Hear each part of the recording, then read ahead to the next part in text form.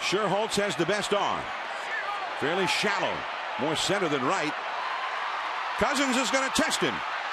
Posey can't handle it. And Posey gets clobbered. Posey is hurt. And he never caught the ball. The Marlins are back ahead. And the Giants' only focus now is Buster Posey. It looked like head-to-head -head con contact.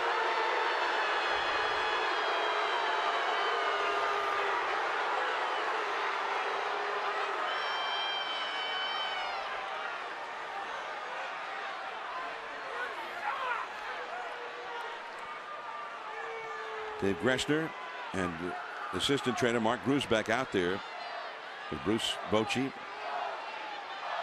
hovering. The fans chanting Posey.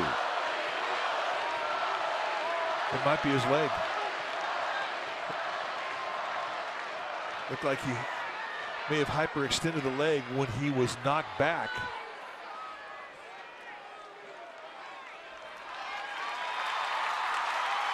He's up as far as sitting.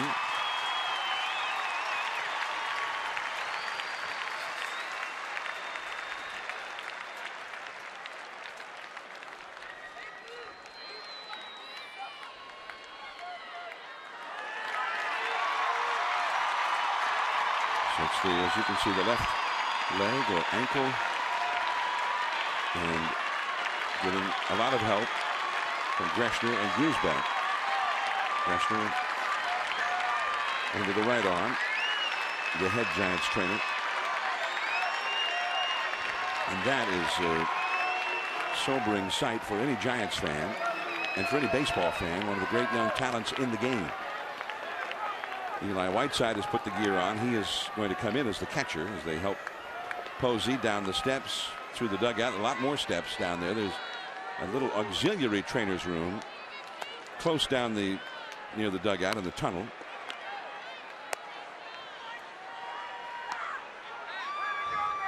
Ben Potenziano, another uh, of the assistant trainers, is there as well. And this is